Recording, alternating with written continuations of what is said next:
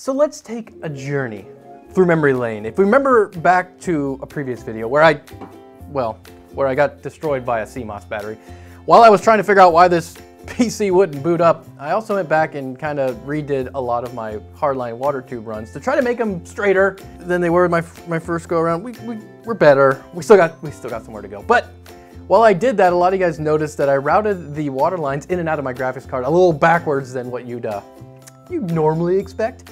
And the reason I did that is because the flow pattern in and out of this distribution block or this big distro plate in the front, this side is the in and this side would be the out. And rather than have the lines jump over themselves to go into this vertically mounted GPU, I was just like, let's just go backwards. Let's go in this side and come out what would normally be the inside. And for the most part, while using this in game, since that since that video, I haven't had any issues with thermal problems, but a lot of you guys said that because I did this, I'm leaving a lot of thermal performance on the table, and that's what we're gonna find out today. Does this routing matter? Does in this side or in this side really translate to better or worse performance? Now in a lot of water blocks, for like instance this one, this is a CPU block from EK, it is written right on there that this is the in and this is the out, so there's no confusion which side's which. Uh, for this mono block on top, normally the intake is directly over the fins and out would be you know, the other side. But this one, eh, doesn't say anything, so I don't know if it matters. So let's find out. Now, before we get into that, I got some other like little housekeeping things I want to do. As you can see, I'm trying to declutter my life. It's, it's been a real struggle. But the first thing I want to do is I want to replace the RGB on the shelf. Um, right now, it's it's kind of like individual strips running down it. I want to be I want it to be cleaner, kind of like the uh, the fan showdown board. So we're going to replace the lights on the shelf and get rid of some of the junk on it.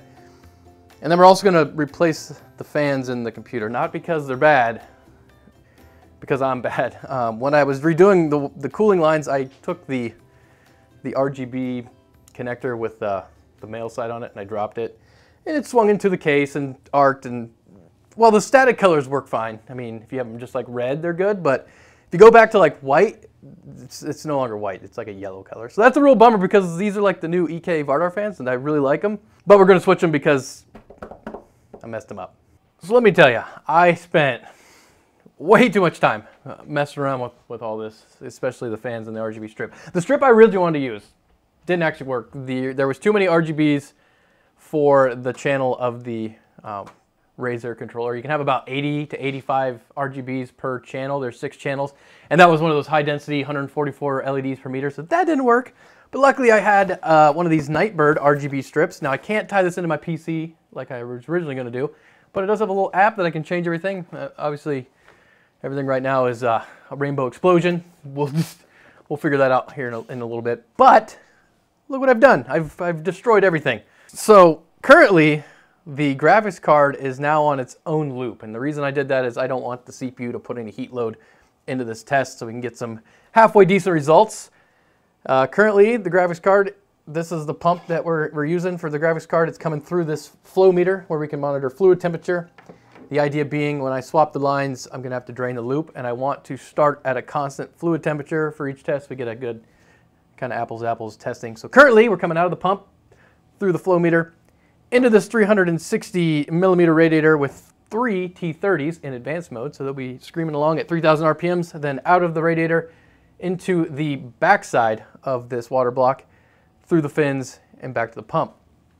Now, before we start, I'll turn the fans on We'll let everything sit at idle till we get a good stable fluid temperature, and then we'll play some Battlefield 2042 beta for about an hour or so and see what our, what our temperatures level off at. Then we'll drain the loop, swap the lines, stabilize the fluid temperature, run it again, and see which one, if either, is better. Also, I have, a, I have a build coming up that I want to use that graphics card, so this kind of helps because now I'll be able to take it out without having to mess with that. But we need to tame the rainbow, too. All right, so fluid temperatures have settled about 21 C, which is pretty decent. Room temperature is about 20.4, so that's about right. Graphics card currently set at idle 25. We'll do some gaming, see how we sit. So the real bummer here is that the Battlefield 2042 beta just ended this morning. So Kombustor it is, and it's been about 45 minutes. We're sitting at 35, 36 degrees Celsius. Room temperature still around 21 degrees. Fluid temperature about 25, so that's the number to beat. We'll let everything kind of cool down to what it was before, flop the tubes around, try it again. So after another 45 minutes, fluid temperature is again 25 degrees. We're sitting about 33, 34 max. So you could say maybe one degree difference, uh, margin of error maybe. Let's turn these fans off, it's pretty loud. But going back to this specific graphics card, does the inlet and outlet matter? I would say no. Um, 33, 34, 35 degrees, that's, those are all really good GPU temperatures. They're all, I think they're within margin of error. If I ran this test over and over and over again, I think I would get fluctuating results that would kind of overlap. Um, also, I did look at the manual for this graphics card while I was running these tests, and it does say in there that you can choose to use whatever port you want as the inlet and outlet, which is not always the case. For example, the block we looked at earlier had a distinctive inlet and outlet, and this one probably does as well. But for the most part, if the manual says you can use whatever you want, it's up to you which way you want to route it. So for this graphics card, I'm going to keep the same configuration just because I think it looks a little better. Maybe I'll redo my loop again, get some more practice on my hardline tubing, but in the case of this 2080 Ti and this water block, which port is the inlet or the outlet doesn't matter. Till next time.